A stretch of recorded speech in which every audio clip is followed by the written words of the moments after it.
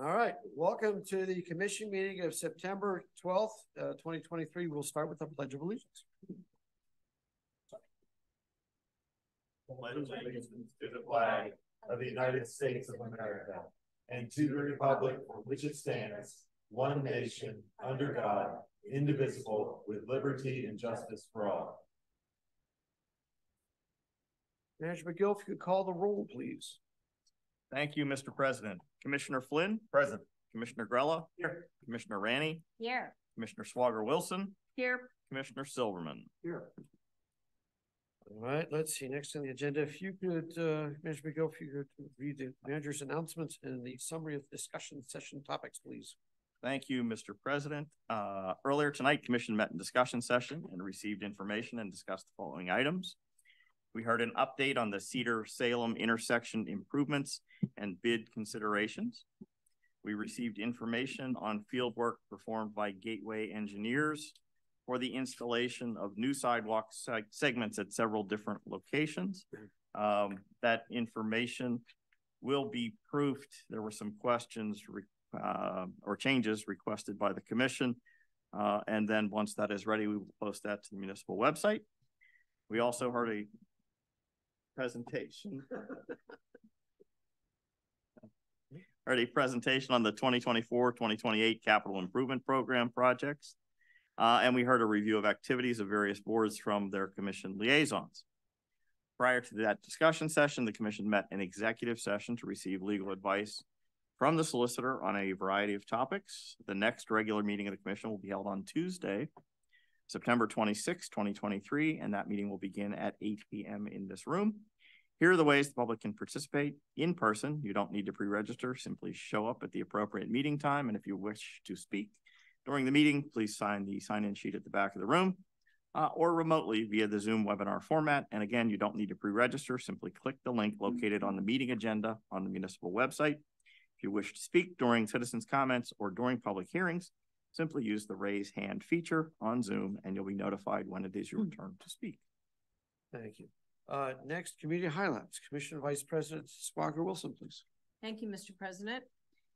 September is the eighth annual Love Your Library campaign for the Mount Lebanon Public Library. Thanks to the very generous support of the Jack Buncher Foundation, every gift up to five hundred dollars made to Mount Lebanon Public Library and other Allegheny County libraries during the month of September will be matched.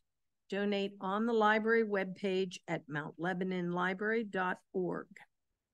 Each year from September 15th through October 15th, we celebrate Hispanic Heritage Month by celebrating the histories, cultures, and contributions of American citizens whose ancestors came from Spain, Mexico, the Caribbean, and Central and South America.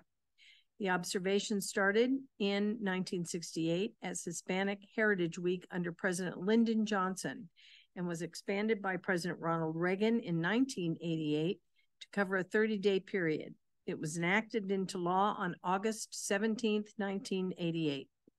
The day of September 15th is significant because it is the anniversary of independence for Latin American countries Costa Rica, El Salvador, Guatemala, Honduras, and Nicaragua. In addition, Mexico and Chile, Chile celebrate their independence days on September 16th and September 18th, respectively. Also, Columbus Day, which is October 12th, falls within this 30 day period.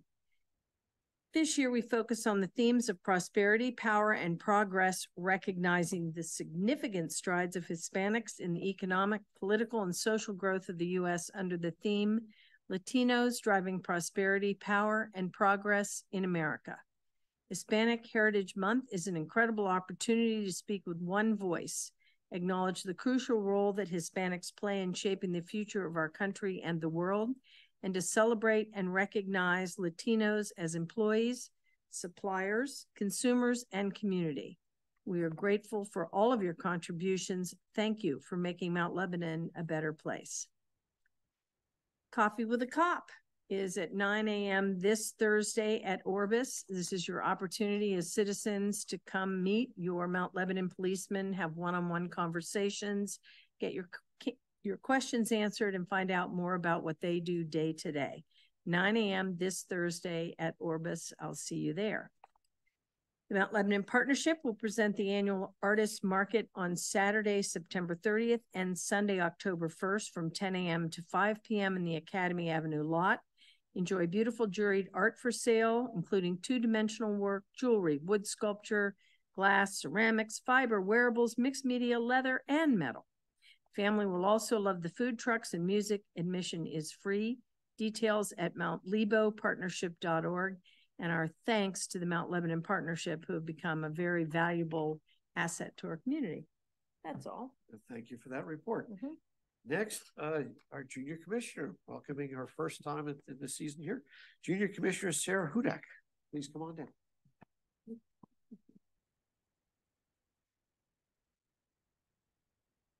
Um, I want to start by introducing myself. My name is Sarah Hudak. Um, I'm a senior at the high school, and I'm excited to be this the first semester junior commissioner. Um, and I'm happy to be able to share some of the things going on that with our students um, at the high school. So some might already know that Mount Lebanon was ranked the fourth best public school in the Pittsburgh area um, in 2023. And as a student, I can clearly see why. No worries. Um, I can clearly see why we are ranked so highly. Um, and one of the reasons is because of the new programs and opportunities that are always offered and consistently changing at the high school. And I want to talk about one of the new ones, the newest ones, is we are introducing a school-wide student leadership curriculum. This will take place in homeroom once per month um, and will be student-led by the homeroom representatives.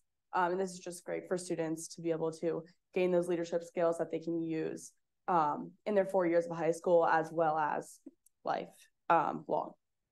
Um, and then some other fun things that are coming up are voting for homeroom representatives as well as finalizing club submissions. So we have over 75 clubs and activities that students can get involved in at the high school, um, which is great for students, you know, to not only just get engaged academically, um, but to build those connections with their peers as well. So thank you. Thank you. Next on the agenda is citizens' comments. This is an opportunity for any resident to express an opinion on any topic pertaining to local government. The commission enjoys hearing from the public on various issues and learning about items to address in the future. If you have specific questions, we will try and answer them at the end of your comments. If we can't, we commit to getting you the answers as soon as possible. When I call your name, please come to the podium to address the commission. Please state your name and address for the record. In fairness, we ask each speaker to share their thoughts for five minutes. The community is as good as each person in this room and online. We work together to make this a community we can all be proud of, and we hope the dialogue remains respectful. We also appreciate the audience's efforts to refrain from any behavior that is disruptive or might intimidate free speech. First on the list, Andrea Fitting.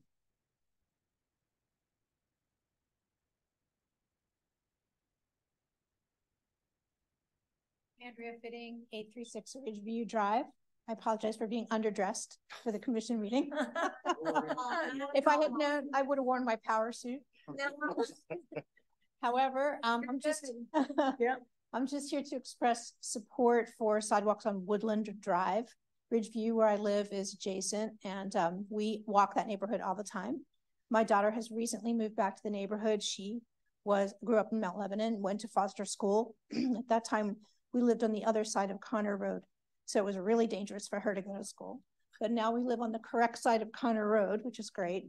Um, however, Woodland Drive is a real menace without sidewalks for two really big reasons. One is there's a lot of traffic and people do not um, obey the speed limit there.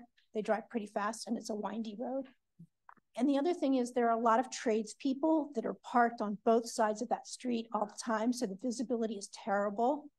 Um, you have to walk obviously in the street. And when the trucks are parked uh, adjacent to the lawns, it makes it extra difficult to not be in the, you know, traffic zone when you're walking on that street.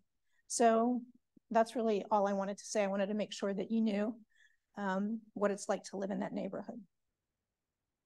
Great, thank you for your thoughts, thanks. appreciate it. Next on the list, Colonel Hume.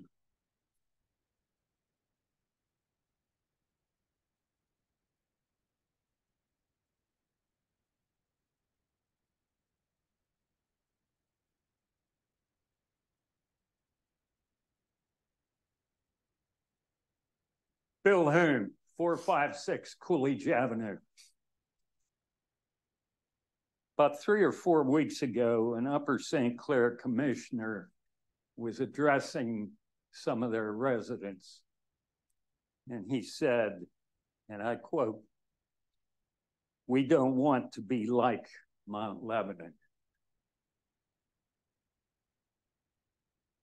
That's rather stunning statement. I've lived here sixty years. And uh, forty of those years, almost all communities wanted to be like Mount Lebanon because we were such a tremendous community. Everybody uh, wanted to own a home here, live here, uh, enjoy life here. And now it seems that nobody does. Last summer, I was talking to two contractors, one from Peters Township and the other one from Dormont.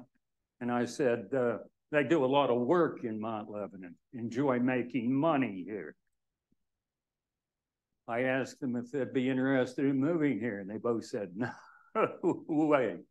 We love working here, but we don't want to live here. We live in communities that everybody's friends. Mount Lebanon, nobody seems to be. Okay. I was walking down the street, the other side, down this way. Um, this was last Thursday. Coming up to the light at Royers, right on the corner there, this end. Two young girls on the sidewalk. Um, one looked to be a little older than the other one, but I'd say 10 to 12 for both of them.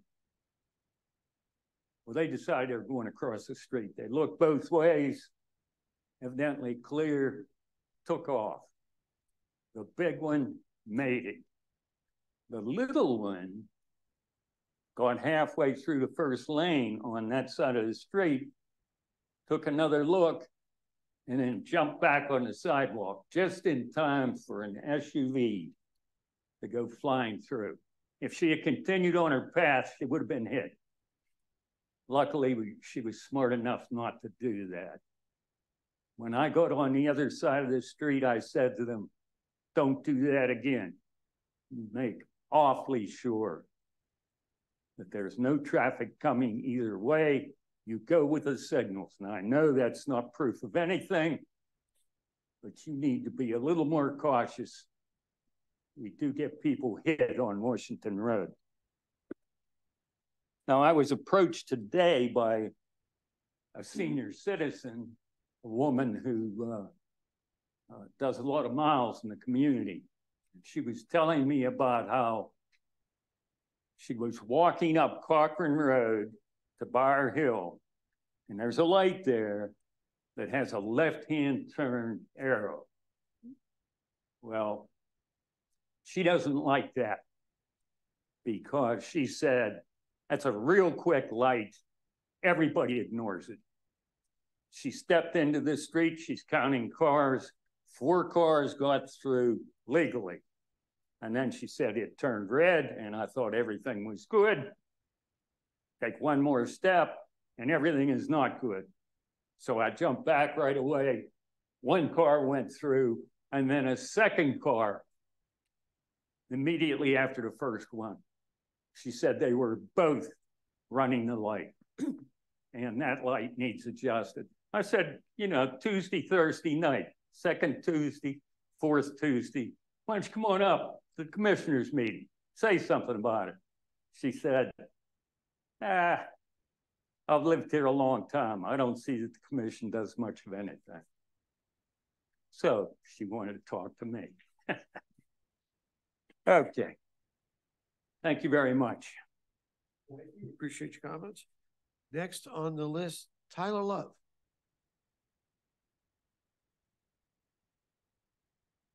Hello, everybody. Um, Tyler Love, three sixty-one Old Gilkeson Road. excuse me, um, appreciate you hearing my comments last, last meeting. We were out of town, could not be here in person. Um. With all due respect to the colonel's comments there, we moved here because of Mount Lebanon. We moved here to raise our child in a neighborhood, a safe environment. A friendly environment, and with the approval, the full consideration for the approval for Black Oak Hill in its current form is putting our family in danger. Um, I know you guys heard last time, and I don't know if these comments resonated, the fact that, I don't know if anybody drove by and tried to attempt what I tried to attempt multiple times over the last several months. That turn is gonna be impossible. Thirty-one cars, I think, is it a day? Is that what you guys determined? Um, yes. Okay, thirty-one cars a day you coming in, address the Commission off. if you don't mind. no, well, thirty-one coming. in Excuse me, ramp. excuse me, if you just address. Okay, the I, well, I commission, had to Thank you. verify that. It was thirty-one a day coming in off of Gilkeson Road, six feet from our fence. I mm-hmm. understand that they own that land behind our house, the buffer between Gilkeson Road and ours. However, they have no frontage on Old Gilkeson. They don't even have access, no sidewalks, nothing like that. I get it because of the drainage. And they're gonna put a sidewalk in behind. Um. But again, that, that on-ramp being six feet from where my child plays is terrifying. And we are considering moving out of the district. Because one, we probably, you know, don't want to overspend from what we got our house for. So it's not worth it for us to stay here. Um, we also don't have access to safe walking to our school now. We walked him, he just started kindergarten last week. Pestered us, pestered us to walk. We didn't really want to. We don't have access to a stairwell that used to be there behind the condominium complex that it's at the end of our street that would take us right up to the street that leads us to his school. Inglewood. Inglewood, yeah. Instead, we have to walk down, walk down a hill that is, there's no stairs on, almost fall into the road and walk all the way up Cedar. And along Cedar at that time of day, there are many cars that are parked on the sidewalk. So that forces us to go into the road, around, and then all the way up Bead And again, I said last week too, with, with the sidewalk being put in behind our house that goes nowhere. Um, I get it for the development, could pull people around the corner to go to Cedar. However, it's pointless. It's just gonna bring more people that walk down our street, walk down that sidewalk, have nowhere to go because there's a giant forest in between us and the next sidewalk access, which is at the end of Old Gilkeson. They will come through our yard. We have a child, and they're not gonna know any better. I'm not gonna blame the people. However, this development's gonna make it easier for them to come onto our property, walk up our driveway. We have it now, and there's just grass there. It's creating an access. Um, all we ask is that the consideration was taken to move the driveway more than six feet from our fence. Have some compassion for some people that have lived here and wanted to move here for years. Finally did. And that's, that's all I ask. Is if it can be reworked. I mean, there were zoning. I get it. It's all done legally. However, not morally. The fact that they gave us five feet from our property line, which we only own five feet off of our house, is a total of ten feet. The other side is thirty-five, and I understand that, oh, they couldn't do it with the split lots. They had to do it that way. No, you could have either not put nine in and had eight. And not let greed absolutely take over. Instead, they chose to put nine and give us ten feet from our house. I get that Mount Lebanon's a close district and all of that stuff. However, it did not need to be done in this circumstance. If this was done in any other part of Mount Lebanon, try to throw this in next to the manor, try to throw this in next to Sunset Hills. It's not happening. You're not getting that close to your neighbor with new construction. We're gonna be dealing with it for years. I just ask that you all took that into consideration. Thank you. Thank you for your thoughts. Uh, next, Laura Love. All right, okay. No problem. Um, Next, Julie R- Rios, Rios? Rios.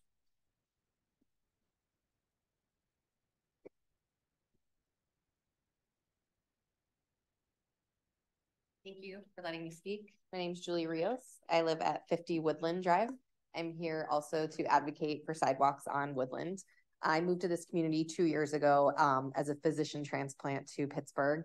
I lived in a wonderful community similar to this that had walking neighborhoods. All the kids walked to school. My kids would walk out in the front yard, always on the sidewalks. And I love the idea of moving to a community where my kids would be on sidewalks. Unfortunately, that's not the case. People, kids, cars fly up the driveway. Um, I'm sorry, up the street. Um, one time during a snowstorm, there was multiple cars in my front yard and none of them actually lived in our neighborhood. So there's a big cut through. So a lot of times people fly through. Um, there are a lot of hidden turns. There's a lot of blind spots. Um, I also, when I drive my children to school, they are like, oh, there's all my friends walking and they're sad. So they're also not getting the same experience that other children are getting. I think this is a wonderful community. Um, and I love to advocate and say, this is great. And I think um, the walking district is great. I think it's good exercise for our children, but I think all kids should have a safe pathway to school. Um, I also think all residents should have a safe pathway to like walk their animals. Um, I've seen many times on the um, bend between Woodland and Terrace where I've had to jump with my dogs into the grass because people fly around those curves. And so it's just very unsafe. And this is definitely a place that we need um, sidewalks. Um, and I thank you for the time tonight. Thank you for your thoughts. Um, next, Sharon McCarthy.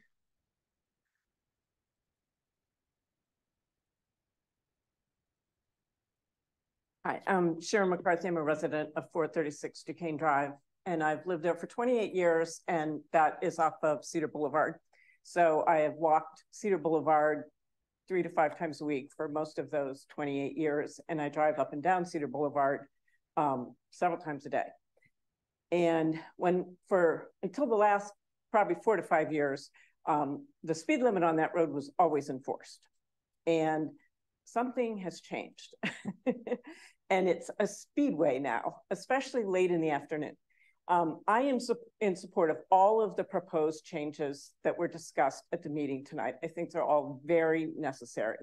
Um, I have been almost hit by a car in that crosswalk monthly, if not weekly. I can tell you Saturday night, I had a car speed up trying to beat me through the crosswalk. they were more than a block away when I started the crossing. Um, I've had cars drive into oncoming, swerve in oncoming traffic so they wouldn't have to slow down while I'm in the crosswalk. I mean, it's it's insane, but what's going on right now. But I am in support of everything that was discussed. I also understand that any construction isn't going to happen until at least the spring. And I'm asking that some temporary measures be put in place until then. Um, there are, and I'd start with enforcing the speed limit. I mean, there are many times I start across that crosswalk and I realize the car's going 40 or 45 miles an hour. They couldn't, they see me, but they can't stop in time. They're going so fast. And I would say the average speed on that road is 35 to 40 miles an hour all day long. When there's soccer going on on Saturday mornings, when there's baseball tournaments and cars going in and out of that lot at Dixon, it doesn't matter. On Sunday afternoon, when there's light traffic, the average speed limit's easily 50 miles an hour. I mean, it's, and that's a 25 mile an hour speed limit. Um, I taught my kids learn to drive. The one rule I drilled in their head seven or eight years ago was don't go over 30 on that road. You will get a ticket. Because in those days, you would get a ticket something has changed. So I think we can make everybody a lot safer at that crosswalk if we find a way to enforce the speed limit. I know that these measures that are proposed are more long-term, more strategic, not as tactical, don't involve, you know, uh, manpower, the police force. But until then, whatever we can do, and the flashing, the temporary signs you get that you put up, you tell drivers how fast they're going and to slow down. I've seen a little box just nailed to a telephone pole that flashes what people's, or, you know, your oncoming speed and or a reminder that the speed limit is twenty-five miles an hour. The people that drive through Mount Lebanon from Bethel Park or Upper St. Clair, they just assume the speed limit on that road is forty miles an hour. And that's what they drive. I've seen people run the red light because they're going so fast, the light at Horsman and Cedar, they're going so fast, they don't have time to stop.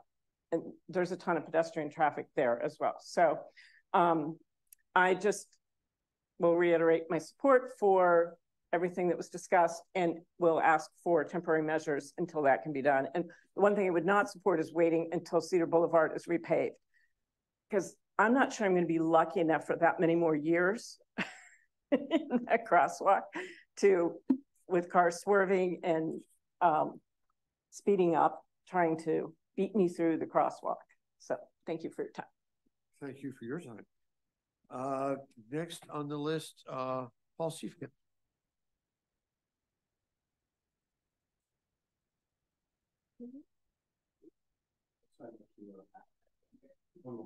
I'm sorry.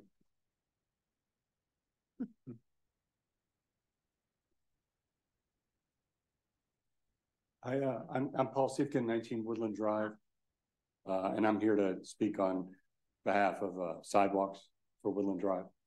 Um, my wife has been advocating for this for quite some time, uh, and she has a lot more details.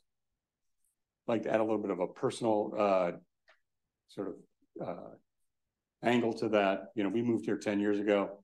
Again, the idea that Mount Lebanon was a walking district was, uh, very attractive to us. Within the first week or so, we decided that we needed to negotiate with our backdoor neighbor so that our children could cross through their yard in order to get to Terrace Drive and walk safely to school. Um, that was 10 years ago, and I think we've been advocating for sidewalks ever since. Um, for a little context, before I got here, I took my dog for a walk and we walked out the back door and we paused and I said, do you want to go this way or that way? And she said, that way. I want to go through the back door yard, like the, the neighbor's yard, because Woodland Drive is dangerous. She didn't say that, but it was clear that that's where she wanted to go.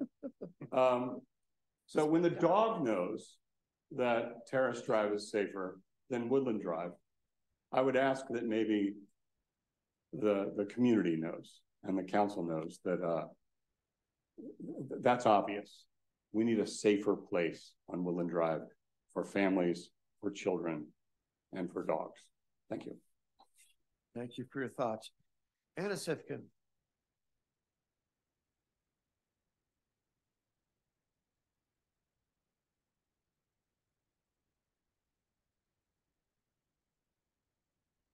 Um, I'm Anna Siefkin. I live at 19 Woodland Drive. Um, I've been here for about 10 years since 2013. Um, I'm chair of the Mount Lebanon Economic Development Council, and during the daytime, I work at the Department of Energy. So I'm here tonight to urge and encourage you as commissioners to plan for the installation of more sidewalks in Mount Lebanon in 2014 via the budgeting process with Woodland Drive at the top of the list. I know you evaluated quite a few different streets, but we have really been trying to focus on this street in particular for a really long time. So I'm here tonight with several of my neighbors, um, many of whom have, spoken already. Um, and we've been advocating and meeting with you um, since 2013 when that policy came across. So we've had meetings with neighbors, we've had sessions with individual commissioners, we've sent emails, we've met with principals. Um, I even met with the superintendent to talk about walkability to schools. And in recent months, we've attended at least two or three different commission meetings We've sent additional emails and we worked with the ESB to create a new set of policy language uh, that was actually not really taken into consideration. So in fact, my daughter, Ruby Siefkin, who's a former junior commissioner and now in her sophomore year at University of Maryland, wrote a story in fourth grade about how she didn't understand why there weren't sidewalks in front of her house. And I'm happy to share that text with you if you'd like it. So I've mentioned that my street is Woodland Drive. And it's a very busy collector street.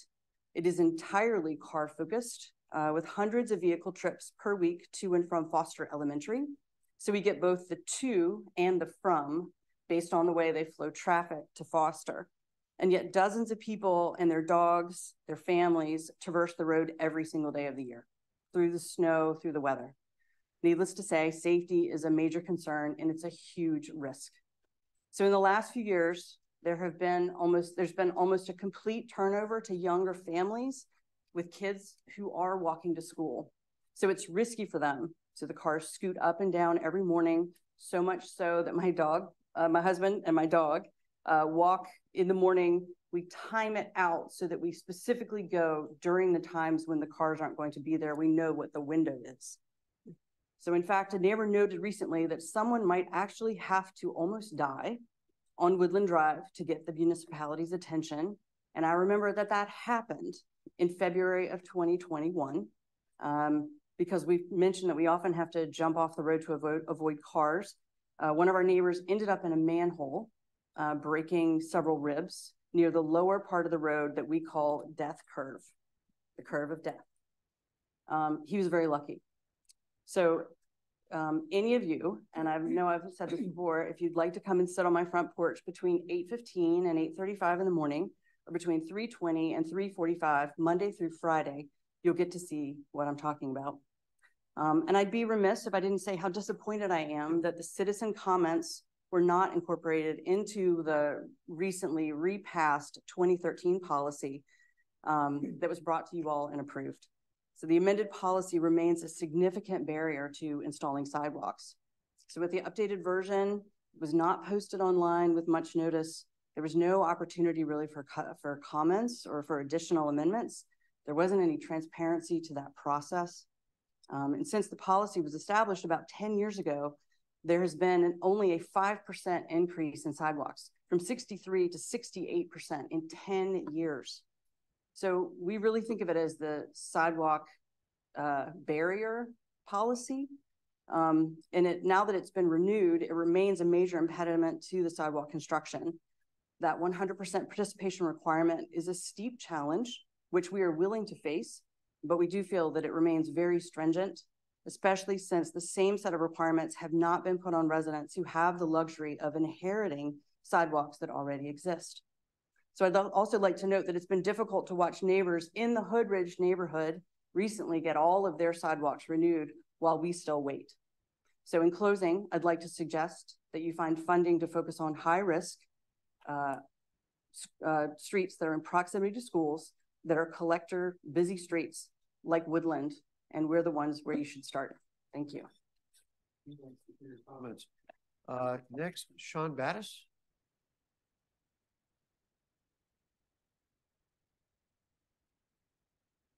Sean Battis, 448 Jason Avenue. Uh, I'm a current member of the Traffic Board, I'm representing Ward 5, previous member of the Environmental Sustainability Board. I was um, kind of one of the key drivers of trying to update the sidewalk expansion policy. Um, I'm happy that it has been expanded a bit, but uh, as previously mentioned, I do think that 100% barrier is still going to be a major hurdle for, for many of the residents of this community that want to see sidewalks installed uh, and can use the assistance of the municipality to have that done. Um, recently at the traffic board, this, this past traffic board meeting, we've had uh, a number of uh, different areas come through and talk about the speed of traffic and trying to get uh, traffic calming. Um, the two requests I would ask of the commission, uh, one, um, based on the presentation from Gateway earlier this evening on, on the, the sidewalks, they're not thinking outside the box um, Commissioner uh, Rainey mentioned, did you even look at extending the sidewalk into the existing street and trying to shrink, shrink the size of the street down, which would have the effect of narrowing the street and hopefully lowering traffic. Uh, I'm pleased that we've passed a complete streets policy. I'm pleased that we're looking at sidewalks again uh, to improve walkability.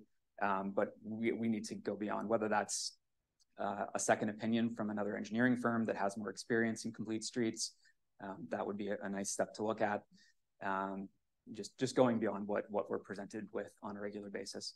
Uh, the second is we all know this is going to cost money. Be willing to to vote for that and and spend the money. Uh, I love the changes on Arden. I've, I got to drive by and see some of those recently, and and that, that really will help, right? Those kinds of, of things. They, they beautify the neighborhood, they slow the traffic down. Uh, using the sidewalks for that can be, uh, you know, a, a great feature for this community. We hear it all the time, the traffic board, you know, resident after resident, we want to be a walking community. We want to be a walking community. It's not safe. We don't feel safe. So please make it safe. Thank you. Thank you for your thoughts. Appreciate it. Next, yeah, I, I, Elise, uh, Hack. Thank you, Elise Hacky. Thank you.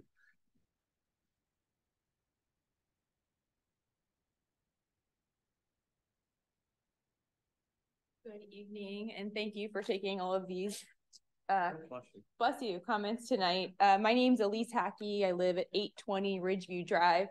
And based on some of our interactions over the last year and some of what you've heard here, I think you can probably venture a guess as to what I'm going to talk about. And that is, not surprisingly, walkability and pedestrian safety in Ward 3, specifically Woodland Drive.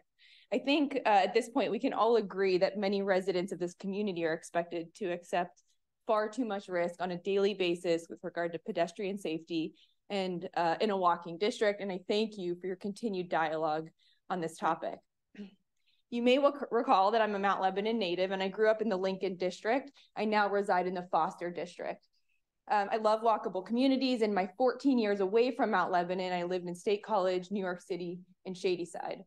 My current Foster neighborhood is the least walkable community I've ever lived in. When I was a student in Mount Lebanon, 100% of my walking route to Lincoln, Jefferson Middle, and the high school were lined with sidewalks. On top of that, the intersections that I crossed were controlled with stop signs, traffic signals, and crossing guards. By contrast, my oldest daughter, now a first grader at Foster, has only 6% of her safe walking route lined with sidewalks. On top of that, she is expected to scurry across unmarked in uncontrolled intersections on Woodland Drive, which, by the way, is in complete conflict with the safe walking routes that are published by the school district and the police department. Uh, the, the terrain, excuse me, is hilly and winding, and the sight lines are poor, like you've heard here tonight. Um, I've spent some time with the traffic board over the last year trying to advocate for stop signs on the basis of inadequate sight lines that clearly was not successful. Um, but I do think there has to be some attention paid to traffic control in addition to this sidewalk installation that I'm so thrilled you guys are talking about. I walked the route last year with Michael Haberman and we were jumping into people's front yards as we walked on the quote unquote, again, safe walking route. I'm training for a marathon right now, running Woodland Drive four times a week. And as evidenced by my ankle here, I think I can blame this damage on the jumping I do back and forth from the road to someone's yard to the road to someone's yard because I'm constantly dodging cars at all hours. Um, I think, again, we can do better, right? And I want to thank your board again for the continued time and attention. Um, this is really, I think, maybe the first time in about 10 years that you have the ability to fundamentally change the walkability in our neighborhoods. And I urge you to prioritize this. Um, I was able to listen into some of your discussions at 6:30, and I couldn't quite hear everything, but I have two thoughts. Um, I liked what I heard from Commissioner Wilson with regard to urgency, and I asked that the board here and the municipality try to earmark some funds in 2024 to get this project started sooner rather than later. And of course, based on the history and the sentiment of my neighbors, I would love to see Woodland Drive uh, prioritized. I heard some of your commentary about the sidewalk installation and the proximity to the road and um, to some of my prior commentary. I would also ask that you all think through um, traffic calming studies that might be applicable uh, for Woodland Drive to further improve safety and traffic flow, of course. Um, because while sidewalks would be a huge improvement, we still have some problems with the intersections um, as it relates to safe walking. Um, but again, I just want to thank you all for your time. I invite any of you to join me. Maybe you can start with Anna on her porch and then meet me in my front yard as we walk with the little kids up to Foster, uh, 8.15 or 3.15 any weekday. Um, and uh, especially as you consider where to throw your weight with regard to the 2024 and 2025 budget. Thank you. Thank you for your thoughts. Um, that's everybody on the list here. However, we online. So do we have any online uh, folks want to comment?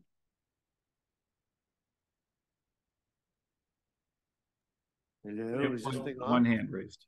One hand, okay. All right, okay, uh, go ahead, please.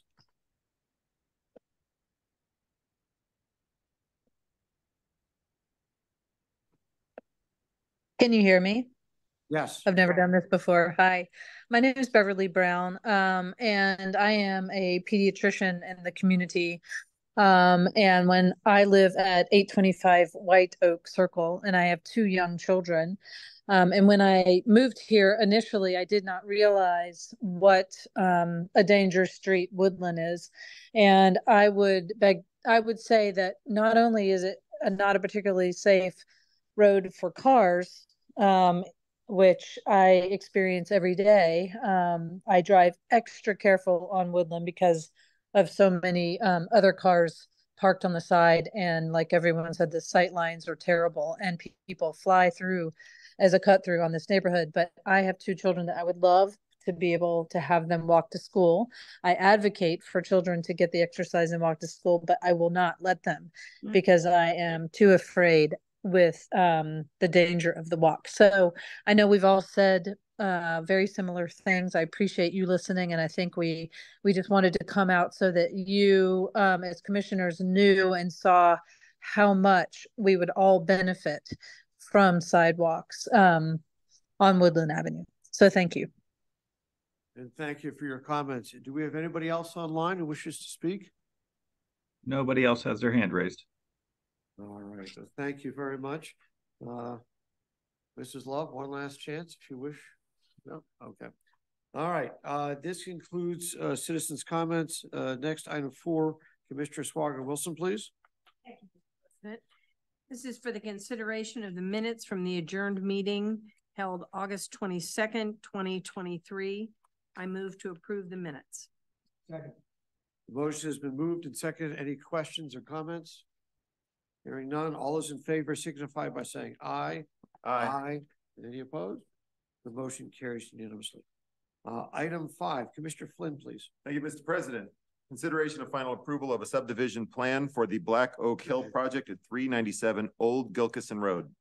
Request, uh, request for recommendation for final approval of a subdivision plan. DeSiga LLC is requesting to subdivide the property at three ninety-seven Old Gilkeson Road into twelve parcels. This would accommodate the Black Oak Hill Land Development Plan submitted by DeSiga LLC to construct ten single-family home, single-family attached homes on the property.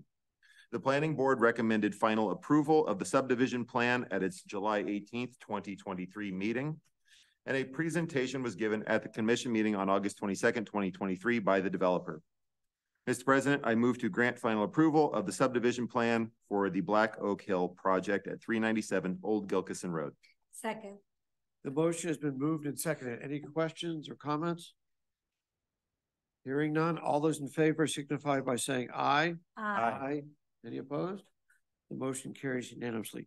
Item six, Commissioner Rainey, please. Thank you, Mr. President. Consideration of final approval for the Black Oak Hill Land Development Plan at three ninety-seven Old Gilkeson Road. At its meeting on Tuesday, July eighteenth, twenty twenty-three, the planning board voted in favor of a motion to recommend final approval for the Black Oak Hill Land Development Plan. The developer presented the project to the commission at the August twenty-second, twenty twenty-three meeting. Um, let's see, DeSig, DeSiga?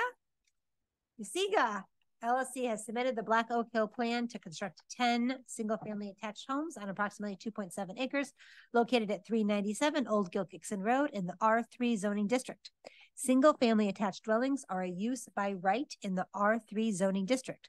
The developer has requested the following modifications to the Mount Code Chapter sixteen subdivision of the land development Saldo. A modification to section 805.9 related to sidewalks. The developer is requesting to not install sidewalks on the Old Gilkeson Road side of the property due to site topography and the location of the property boundaries in relation to the right of way. Sidewalks will be provided on the Gilkeson Road side of the property. A modification to section seven oh seven to provide the required shade trees within the lot frontage on Old Gilkeson Road in lieu of planting trees within the right of way due to limited space between the right of way line and the cartway. The shade trees planted on private property will maintain, will be maintained by the property owners. I move to grant the requested modifications to section 805.9 and section seven oh seven and grant the final approval to Black Oak Hill Land Development Plan conditioned on the execution and approval of the required development agreement conditioned upon receipt of the necessary permits from outside agencies and conditioned upon receipt of the required financial securities within sixty days. Second. Motion been moved and seconded. Any questions or comments? I have a comment. I, I'm still gonna maintain that I would really like to see you move the driveway a little bit away from the Love's fence. You know, when I looked at, drove it, walked it, did all of that, it seems like a fairly small concession and it, we don't have the right to require you to do that, understandably. But being good neighbors is, you know, always a good thing to do. So moving it ever so much, um, I think would be worth your while and, and would help them. That's all. All right, I, I, I, it- it's. The solicitor's gonna whack me under the table, but my thought is, I mean. I'm okay with the requested modifications. We've approved stuff like this before. However, in deference to, and let's say, you know, the- you know, the Love's plea. To say, is there anything that can be done? And about the only way I can do that is by voting no. I just don't know if I wanted to say yes to one and no t- to item two. But that's, that's, that's where I am, where, I mean, the other stuff for me of sight lines or or lot lines, whatever, but I just, this one, I just have to vote no on. I, I decided to vote no as well, based on. I'm voting no. Table it. If this time, if you're gonna vote no, you have, you have to produce a decision that explains why you're voting no and cites to the ordinances. If you think you're gonna vote no, table it. That's up to you. We'll work it out, sure. All right, so, so I, on uh, the advice of the solicitor is we should be tabling this. Now, how, from a standpoint of Make a motion. make a Table it. motion to table? All right, I'll make a motion to table. Second. Second, okay. The motion is on the tabling, so in, all those in favor of the motion to table, say aye. Aye. Any uh, opposed? Okay, the motion to table carries uh, five to nothing. Now, given that this action has been tabled, does that mean? Pardon? I, I'd for a motion to table seven too. Okay, all right, okay. Um, should I give that to one of the commissioners? Just go ahead I'll, and do that. I'll make a myself? mo- I Go make a ahead. motion to table item number seven related to the executing of a development agreement for stormwater operations and maintenance agreement with DeSiga. LLC. Second. Motion has been moved and second. Any questions or comments? All those in favor of tabling signify by saying aye. Aye. Any opposed? All right, that motion carries five, nothing. Okay, item eight, Commissioner Swager Wilson, please. Thank you, Mr. President. This is the consideration of a Brick Streets policy. Over the past several years, the Historic Preservation Board has worked to develop a preservation policy for the brick streets in the community. Mount Lebanon's brick streets are part of its heritage and contribute, contributed strongly to its National Historic District Register designation on are a key historic and aesthetic feature of our community. The commission has received input from the Historic Preservation Board, researchers at Carnegie Mellon University, municipal staff and engineers, community residents and local experts in other municipalities who have tackled Brick Street preservation. The commission has discussed the policy several times in discussion session over the past year. I move to adopt the Brick Streets policy. Second. The motion is moved and seconded. Any questions or comments? Hearing none, all those in favor signify by saying aye. Aye. Any opposed? The motion carries unanimously. Item nine, Commissioner Flynn, please. Thank you, Mr. President. Consideration of commencement of pension benefits. Mount Lebanon sponsors three defined pension benefit plans for their employees. General employees, police, and firefighters. The Commonwealth of Pennsylvania's Department of Auditor General requires that all benefit commencements for the police pension plan be approved by the commission. It also recommends that all benefit commencements, regardless of plan type, be approved by the commission. The employee, uh, employee detailed below, uh, has been, has requested benefit commencement commensurate with the terms of their respective pension plans. Lauren Schultz, general employees, uh, start date is 9-1-2023. I move to approve benefits, benefit commencement for Lorena Schultz. Second. Motion been moved and seconded. Any questions or comments? Nothing beyond thank you very much for your service and mm-hmm. best of luck on the next adventure. And we wish a long and healthy retirement. All those in favor signify by, signify by saying aye. Aye. Any opposed? The motion carries unanimously. Item ten, Commissioner Rainey, please. Thank you, Mr. President. Consideration to purchase a twenty twenty-four Jacobsen GP four hundred Greens mower from Baker Vehicle Systems, Inc. This mower will replace the existing twenty eighteen Greens mower. The existing Greens mower will be converted to a T mower. The current T mower is a twenty thirteen converted Greens mower. Jacobsen GP four hundred is forty-seven thousand nine hundred sixty-eight dollars and is in accordance with the Omnia purchasing contract number two oh four seventy. Due to supply chain delays, this item will not be available until twenty twenty-four. It will be ordered this year and sufficient budgeted funds will be carried over to next year.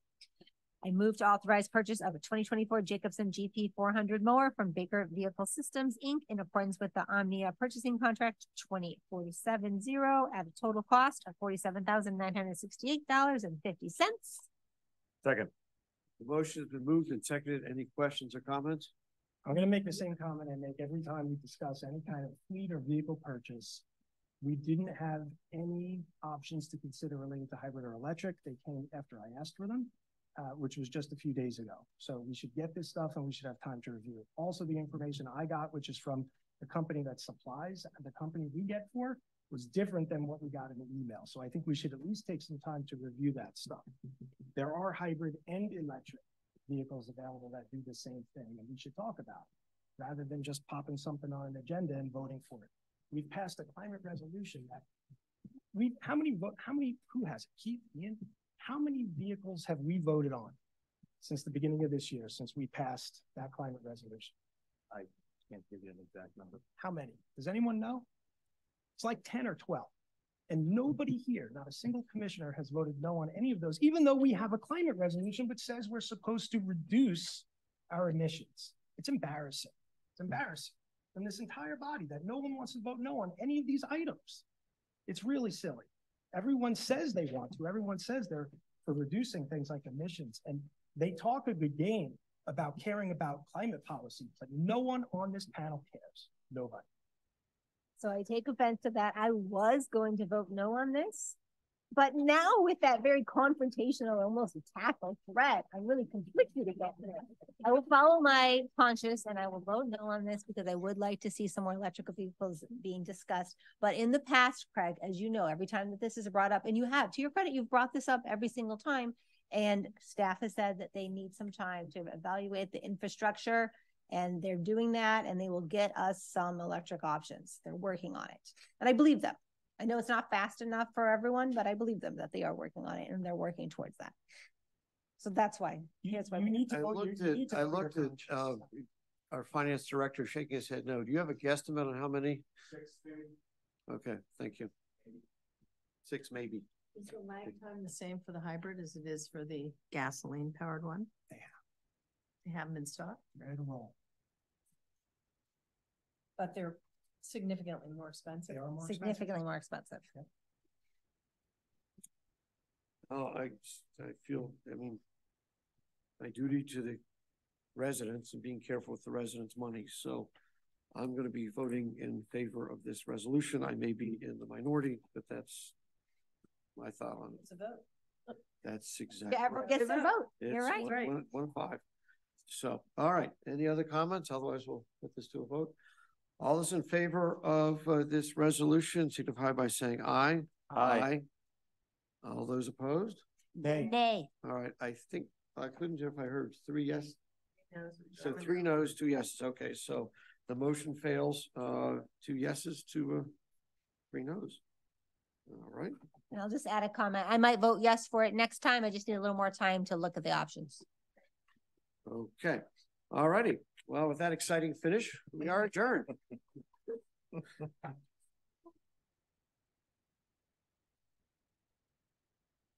Good times, good times.